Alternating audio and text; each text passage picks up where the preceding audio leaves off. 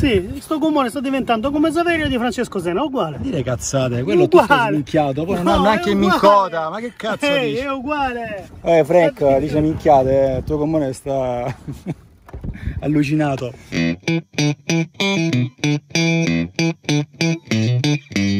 Ragazzi, benvenuti sul canale. Oggi ci troviamo con Vincenzo Ciao Troisio. tutti, buongiorno. Troisio, non Troisi, era sottomarca. quello di Odro. Eh, Anche lui non è youtuber, eh? io anche sono youtuber ora. no, vabbè, io mi diletto. Lui è molto bravo con i droni, con i droni, seguite il suo canale, molto bellino.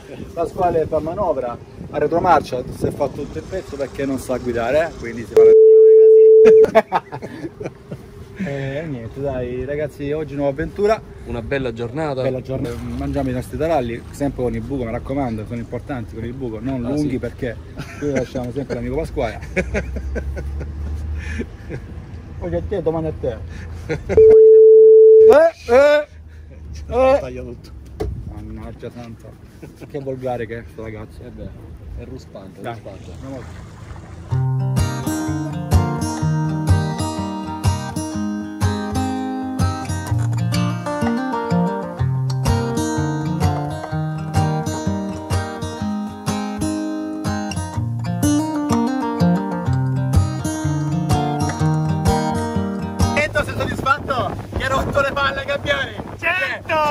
100 gabbiani hai rotto i coglioni? Vabbè dai, era per far vedere proprio a Vincenzo quanto rompi i coglioni. Bello Vincenzo. Bello dai, tutti contenti siamo, anche loro. Muta messa, siamo pronti all'attacco. La muta che utilizzo è di Cetma Composites e questo tipo di mimetismo è semplicemente un test per capire se mi potrà dare una mano ad avvicinare i bei pesciotti. In mano ho il 115, l'uragano 115, armato con asta da 8 mm. Davanti a me ho un branco di saraghi intorno a mezzo chilo, anche più, dei identici più lontani, intorno a chilo e mezzo, che sinceramente sono anche abbastanza predisposti a venire a tiro. Mi potrei anche accontentare a sparare un bel dentice, ma sono lì ad aspettare la preda un po' più grossa, ne sono sicuro che dovrebbe arrivare da un momento all'altro. E infatti, come previsto, ecco sbucare sulla mia destra la cernia bianca. Cerco di capire un po' se posso spararla da questa distanza. Ovviamente valuto la dimensione del pesce, se posso ovviamente passarla. Infatti mi avvicino giusto un po' e sferro il tiro. Ecco, sono questi tiri che mi fanno capire l'importanza di avere un fucile molto potente, ma soprattutto preciso. Saraghi, tanti grossi, qualche dentice si è visto sul chilo e mezzo, due, però ho aspettato un pochettino perché ci stava davanti a me una cerna bianca che, raga, eccola qua.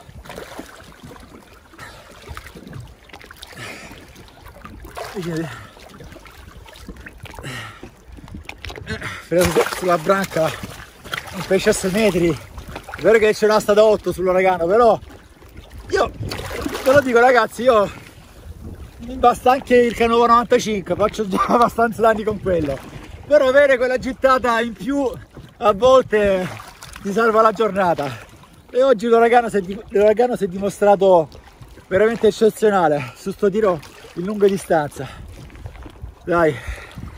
Bene bene. Che tiro io. Posso? In passato ho fatto una modifica sul Canova. Praticamente ho inserito lo stopper prima delle carrucole. Ho forato il Canova e sappiamo che il Canova all'interno è, è un fucile pieno non è un vuoto praticamente non è cavo all'interno. Quindi ho potuto fare questa modifica inserendo praticamente questo mm, cordino e quindi interrompendo la, la corsa prima delle carrucole contrariamente il canova originale è questo qui con lo stopper che viene messo dopo le carrucole in questo modo che succede? Che abbiamo ovviamente più volata dell'asta. Quindi questi 5 cm li recuperiamo ovviamente in gittata in propulsione in spinta in spinta propulsiva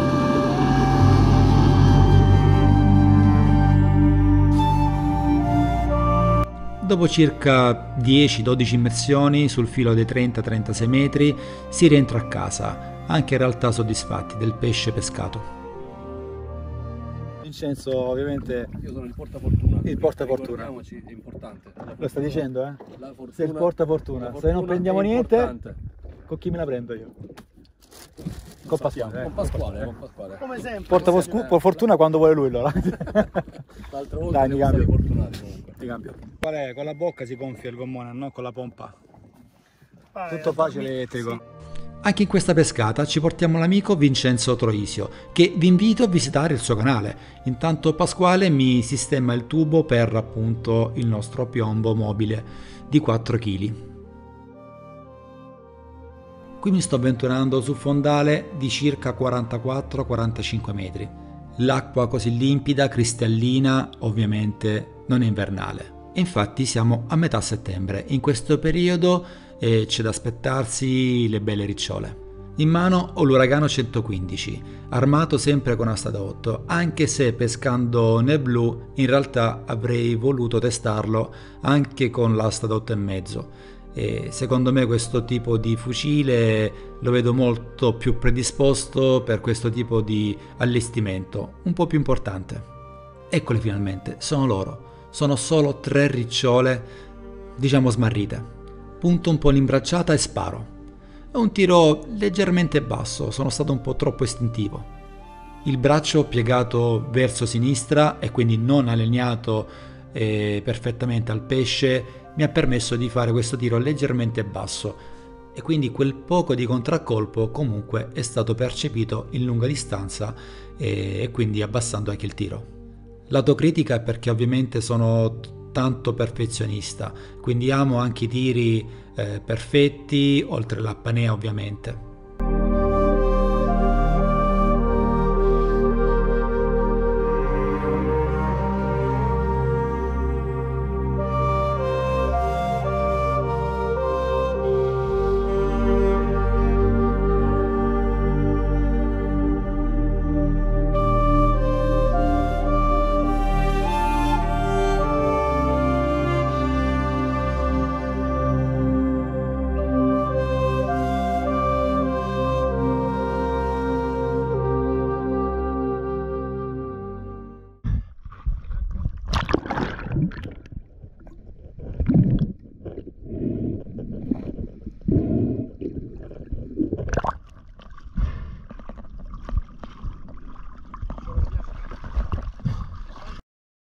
Dai, i due barcaioli fanno la differenza, soprattutto Vincenzo Troisio, che mi ha portato fortuna per la seconda volta. Amo tantissimo portare in barca delle persone che non hanno a che fare nulla con la pesca in apnea. Vincenzo mi raccontava che era la prima volta che vedeva un apneista all'azione e soprattutto nel catturare dei pesci di grosse dimensioni. pesce lo sento, non tira, quindi vuol dire che ha accusato il tiro, il colpo voglio dire.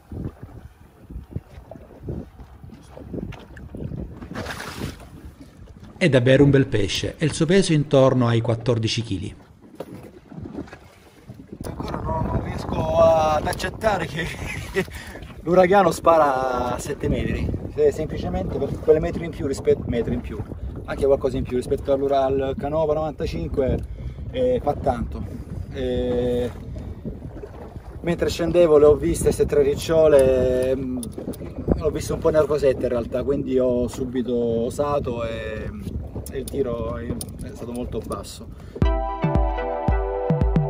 Condividere alcune ore di mare con degli amici davvero non apprezzo. Questo pesce è stato diviso in tre e si ammazzava da ridere perché ancora non ci poteva credere di aver visto salire in barca un pesce così grosso e ha iniziato a spiegarmi la sua ricetta preferita.